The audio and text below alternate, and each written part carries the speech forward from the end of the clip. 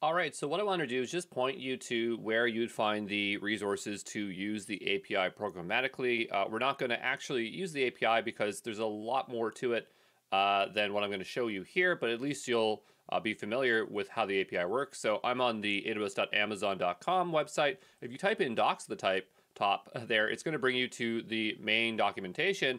And what we're looking for, if we scroll on down, there should be a general reference area where we have service endpoints. And if we click into here, it's going to uh, talk about um, how a service endpoint is structured.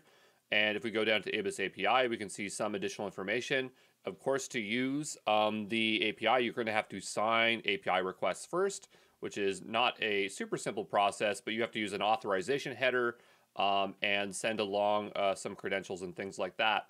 So if you want to know what service endpoints uh, are available to you, if you search service endpoints list for AWS, this is the big list. And so if I was to go down here and look for EC2, uh, might be a common example here. It's going to tell us what the endpoints are, and as you can see, they are regional based. But the idea here is that I could take something like this, okay, I could grab that, and using something like Postman, I could go and create a new request and it's probably a post. I'm not sure what it's supposed to be. It's probably a post. And then you'd set your authorization header. There might even be one in here for AWS. See where it says AWS signature. So you can go here and put your access key and secret within here. Um, so that's something nice about Postman. So it's going to do the signing request for you. So it makes your life a lot easier. And then from there, what you do is you go to your body and you'd want to enter in JSON. So to do JSON would probably be raw.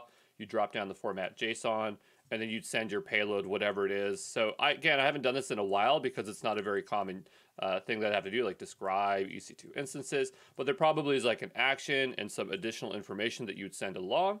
Um, so you know, hopefully that gives you kind of an idea how the API works. But you know, you should never, uh, in practice, ever have to really work with the API uh, this way directly. Okay.